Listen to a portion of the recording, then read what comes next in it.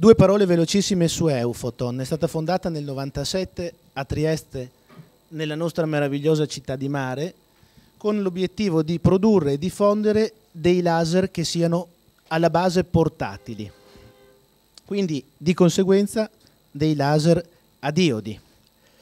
Eh, tre fasi importanti per la nostra crescita, vedo tante persone che ci conoscono da anni, quindi eh, qualcuno di voi si ricorderà il primo vecchio laserino da 10 watt, perché lo chiamavamo effettivamente come tale, il laserino chirurgico medicale, e quindi l'approvazione con il marchio CE nel 98, l'ISO che è arrivata nel 2006 eh, e eh, con grande eh, soddisfazione e eh, felicità vi comunico che tre mesi fa abbiamo ottenuto anche l'FDA per poter mh, diffondere le apparecchiature negli Stati Uniti.